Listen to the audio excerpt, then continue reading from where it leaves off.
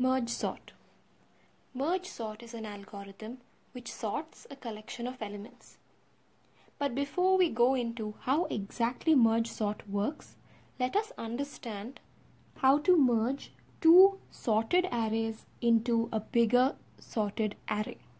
Once we understand this, we can go and learn how exactly this merge sort is going to use this technique to sort an array of numbers. So first what are we going to learn? How to merge two already sorted arrays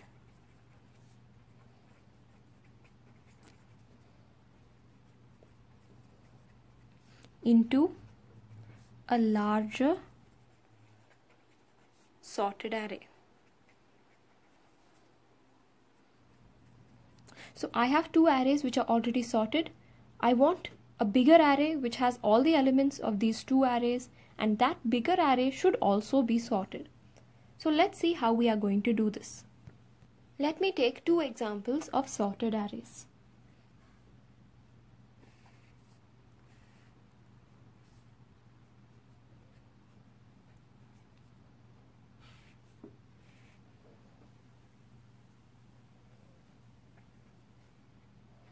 So these are my two arrays. I am writing down the respective indexes. Let me call the first array set 1 and the second array set 2. Let's keep a pointer for each of these arrays which points to the lowest or the smallest element of each array.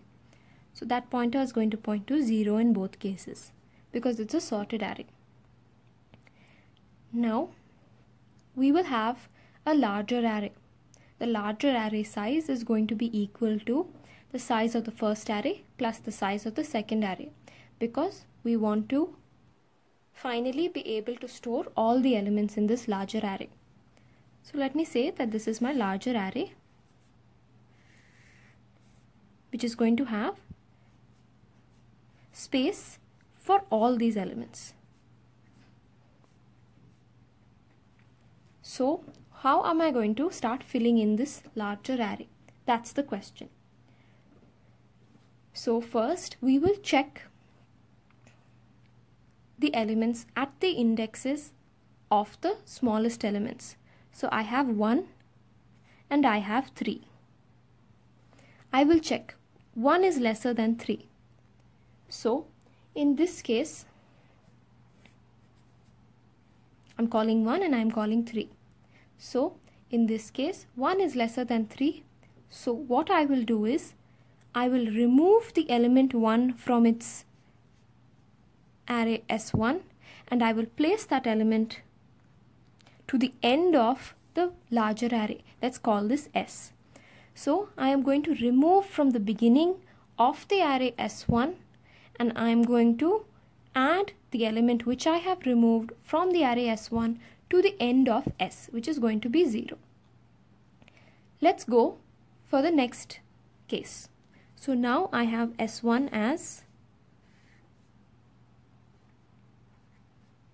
there is nothing over here and I have S2 as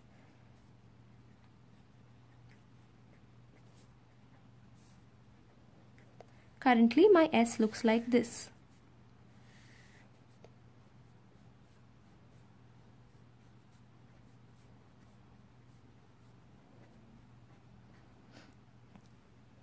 Now I am pointing to the lowest element of each array.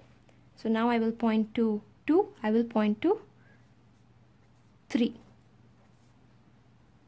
I will take these two elements and compare them. So I'm going to compare 2 and I'm going to compare 3.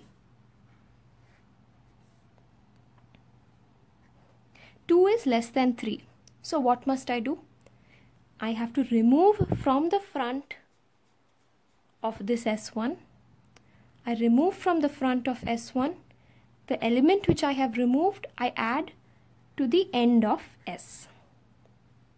So this is our array now. Let's look at the next case.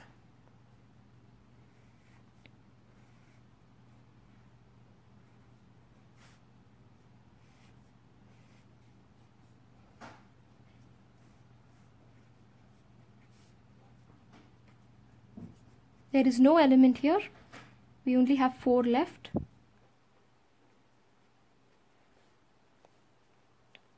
Our main array looks like this now.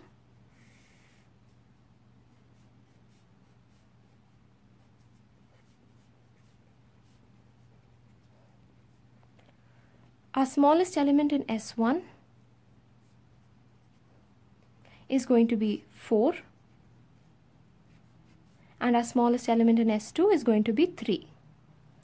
3 is less than 4 so I will remove 3 from the array S2 from the beginning of S2 and then I will store this 3 to the end of S. Now let's see what our array looks like.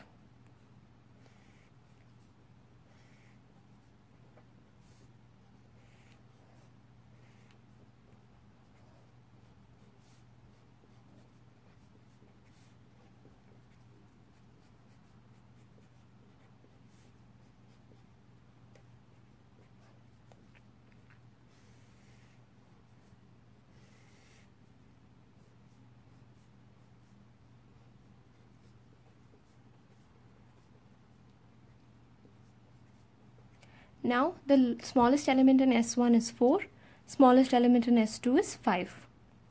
I will compare these two elements 4 and 5.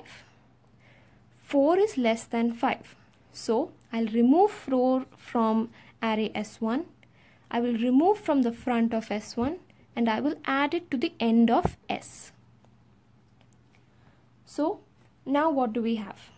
We have arrays which look like this. S1 has become completely empty.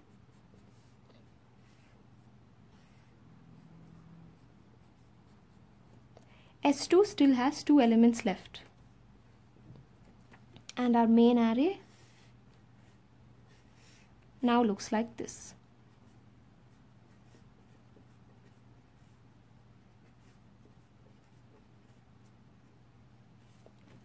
Now, once either of our subarrays S1 or S2 becomes over, what must we do? We don't have anything to compare the S2 elements with. In such a case, what we must do is we have to include all the elements in S2, we have to add it to the end of S. So, once either of the sub arrays S1 or S2 is going to get over, once it is over, that subarray which is not yet over, we have to include all the elements of that subarray into the main array. So I will remove from the front of S2 first. So I will remove 5, I'll add it to the end of S. Then again to S2, I will remove 7, add it to the end of S. As you can see in this way, we can get a sorted array. So I have taken two already sorted arrays. I have used this algorithm Finally, I am getting a larger array with all the elements of these two subarrays and that larger array is also in sorted order. This is how we are going to merge two already sorted arrays into a larger sorted array. Once you thoroughly understand this, we can go into how exactly merge sort works.